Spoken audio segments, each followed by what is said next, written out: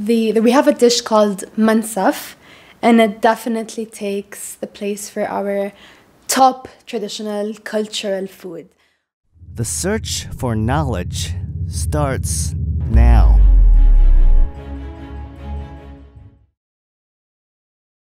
Um, basically, mansaf, for anyone who might not be familiar with it, is rice. Um, the, the color of the rice is yellow due to adding um, a spice. We call it in Arabic za'faran.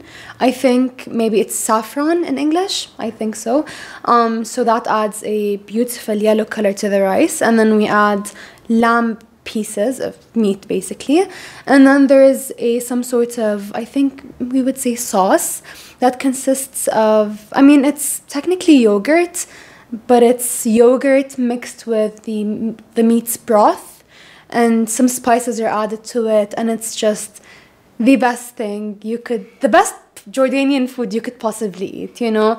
Um, and i think mansaf is so much more than just you know rice and lamb and jamid which is the yogurt um, or the sauce. Uh, mansaf is when the family normally mansaf i mean when my mom cooks mansaf or my dad as well cooks mansaf i'm really good mansaf by the way um, we need to have the family at home all my family members need to be at home.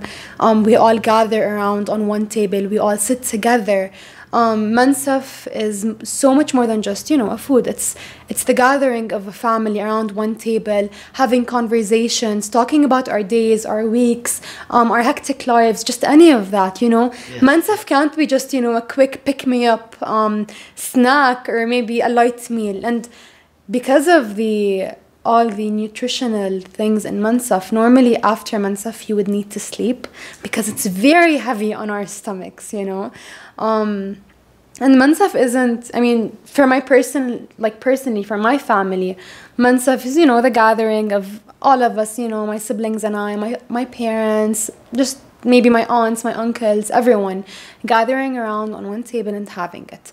But for other jordanian families or just in our Jordanian culture, mansaf is normally it's made um, when there's gatherings, um, normally huge amounts of people because mansaf is almost universal. You know, there is no Jordanian that doesn't like mansaf.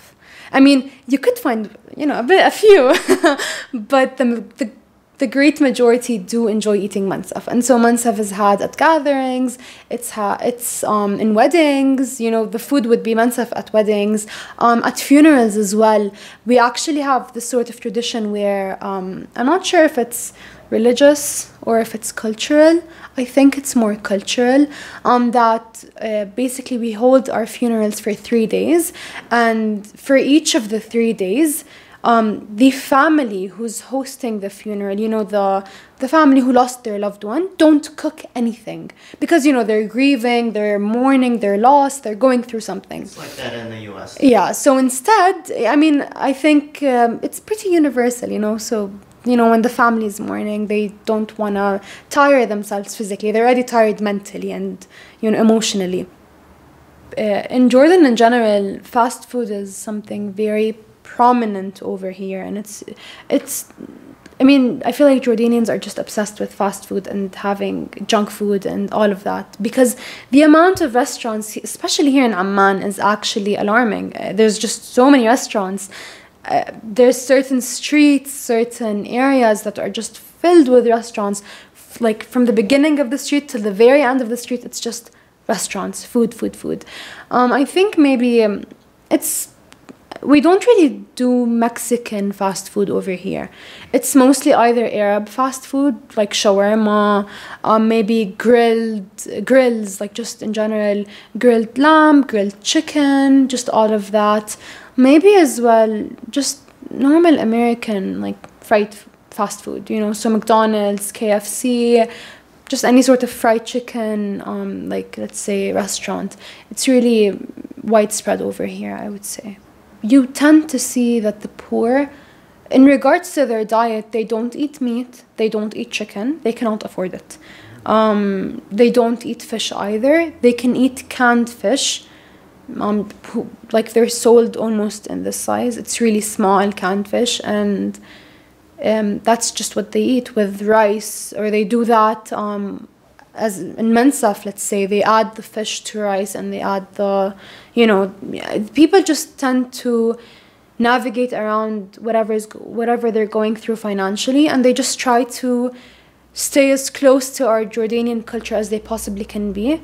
But because our food is so filled with meat, chicken, fish, you know, just things that are nowadays, I mean, in Jordan in general, expensive, or they just can't afford it. Maybe they're not expensive, but maybe they're below the line of, let's say, the bar of poor, you know.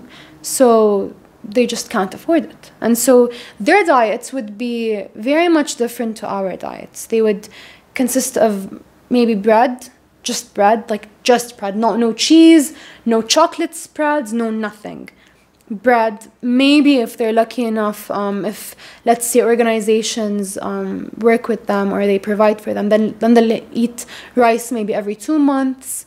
Um, they just I mean, I can't imagine what they live like because it's very hard. Whereas the rich, let's say, they'll have meat or chicken maybe every day or every other day, let's say.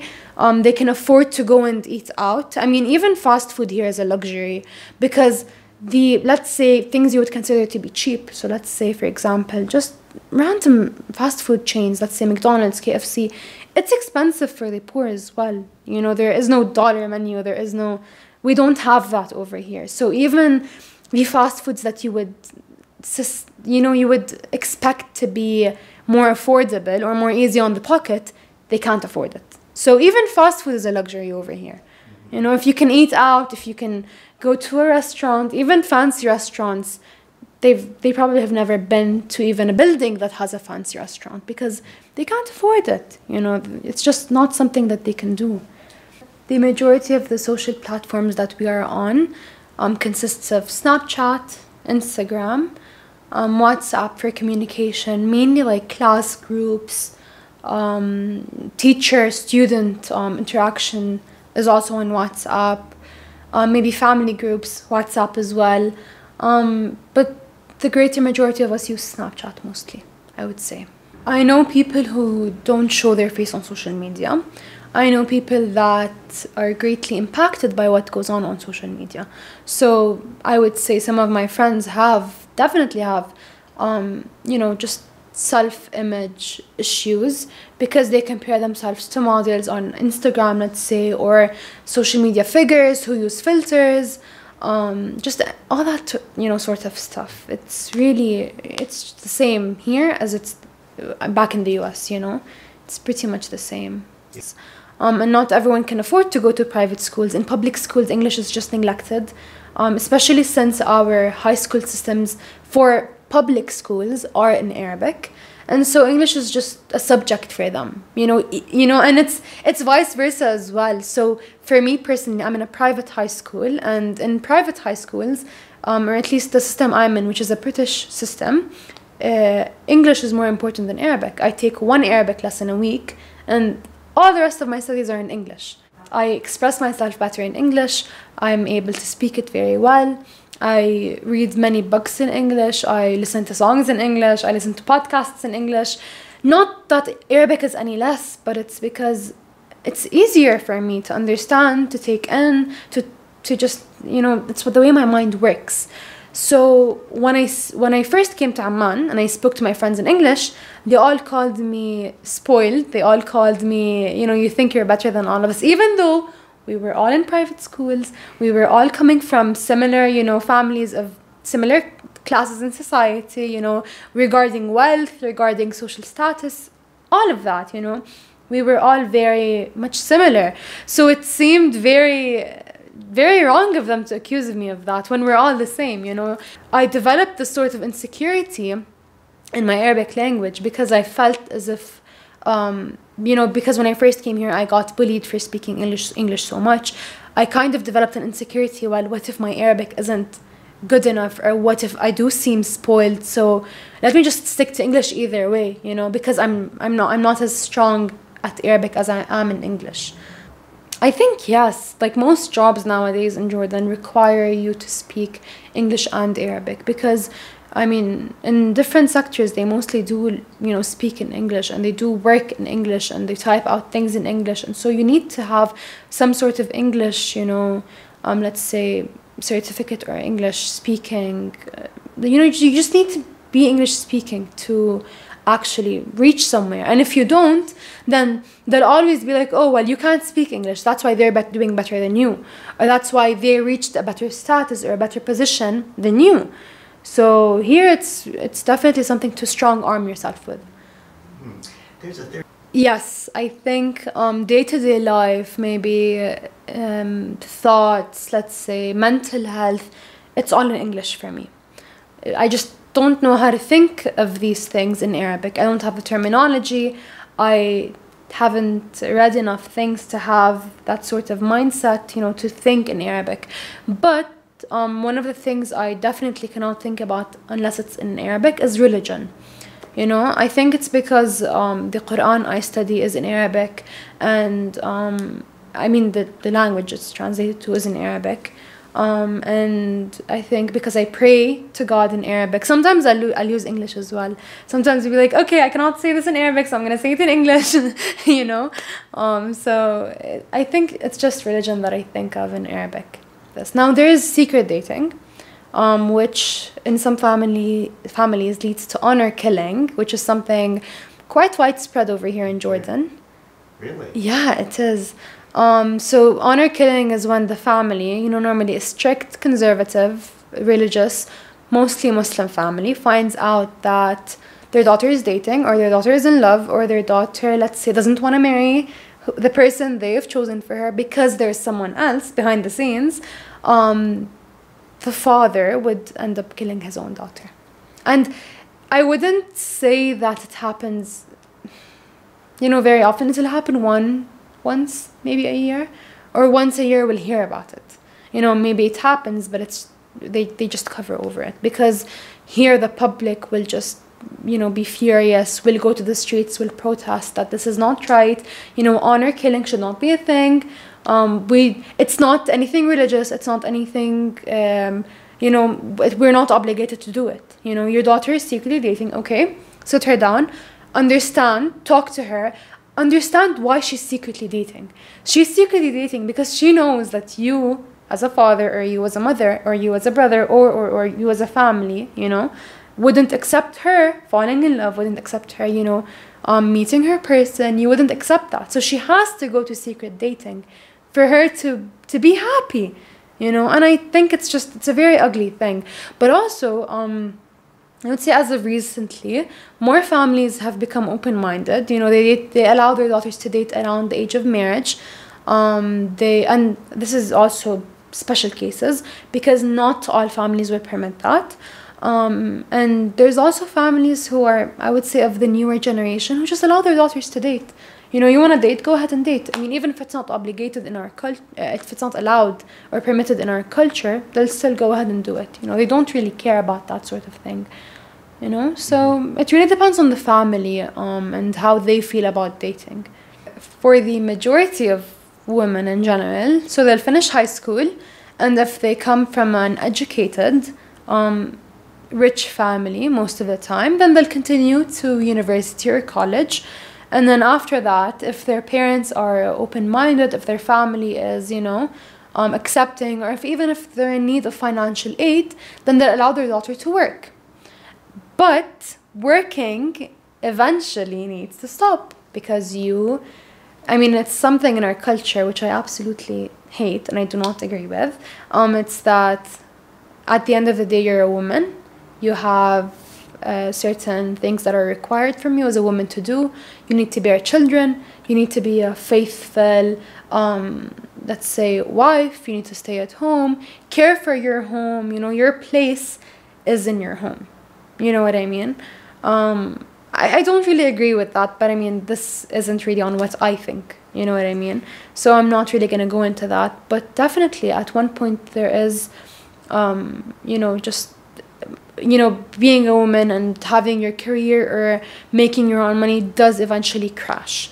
But um, from what I've seen, you know, whether it's cousins, friends, family friends, even, I see that the newer generation is more accepting of having wives or having, you know, just women in the family working and making their money and continuing their studies. Um, that includes continuing to study abroad. That continue. That also includes um, a woman opening her own business under her own name, you know what I mean? Which is also something new because that wasn't a thing. Um, if a woman wanted to own a business, then she would have to have it underneath the name of her husband or her father. Or her brother, even. You know, she wouldn't have it in her own name. I'm not really sure what's the reason for that. Maybe not. I suspect, or I think, that maybe it's to not give the woman too much power or too much control over you know her situation and something that I also now that i've brought it up is very important um, is that being you know working or having a career means that you're strong means that you to some extent are independent which means to most men at least in the jordanian culture they think as a threat that oh okay so she has money she has a career she's all sorted out for herself. If i harm her if i hurt her if i do anything she at any point in in her life can eventually choose to leave because she has you know free will. She can leave. She's not dependent financially on him. She doesn't i mean the only thing stopping her then would be culture you know to leave a relationship or let's say get out of something toxic or just any of that you know but um, I feel like companies here as well are becoming more considerate of working mothers, working women. You know, they'll make sure that the time hours, you know, the whenever they start, whenever they finish, is suitable for them. Um, but that's also very rare because most companies, you know, they think that oh, okay, since you want to be equal to men and since you want to be working, then you'll have to, you know, still deal with work and still come to work whenever we choose to because you want to be treated this way. You want to be equal. So there you have it, be equal. So I think that Americans, something that they misconceive about Arabs is that we're all Muslims. Um, you know, we are not all Muslims. There are multiple religions in the Arab world, let's say. Um, and going into religion, we're not terrorists. That's not us. That's something completely different to who we are. Um, so we are not terrorists either. Um, Arabs do not live in complete luxury. We do not ride, um, you know, cars painted with gold, and we don't own diamonds in, you know, crazy amounts. Like, no, you know, most of us are, um, you know, middle class. We work. We maybe if we're lucky enough, we'll have our own business. You know, that's just the way we're not all really well off, you know what I mean? But also, we're not all poor. We don't drive on camels, that's not the thing anymore. We have roads, we have cars, uh, we have Teslas, Mercedes, um, just any sort of car that you would have, we have it here too.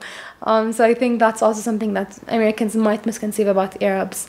Um, and the fact that we're not all conservative, we're not, not that that's a bad thing, but we don't, any sort of image that you might have on you know, just conservative families, conservative religions, just all of that, then it's most probably very much, um, ex- you know, it's to the extreme. And that's because of media and the way they paint us.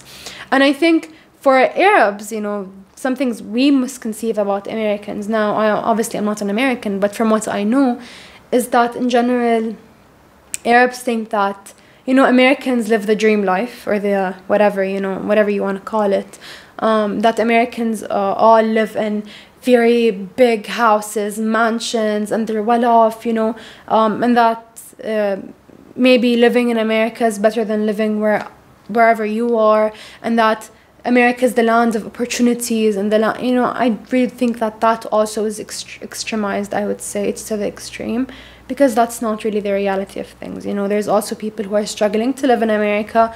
There is a huge um, you know population of homeless people um, and in general most of people living in america don't live the american dream you know? They're not uh, let's say equal to others in society. They're not you know anything that we think exists in america is probably also wrong and very much externalized by the media as well you know? So i think and there's a lot of things in general you know between both let's say worlds that are also wrong and you know we all i mean both sides believe to be true but are completely false. And they're over exaggerated and all that sort of things by the media. yeah.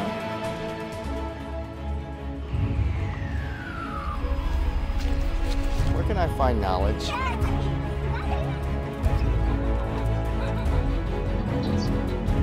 If I you it up off out, Mafra? Across the river into the trees.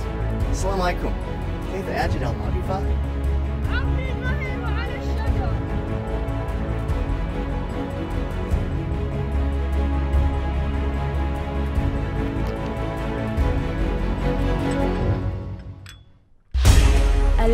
هو الخير والجهل هو الشر آمنوا منكم والذين أوتوا العلم درجات والله بما تعلمون خبير Knowledge is power.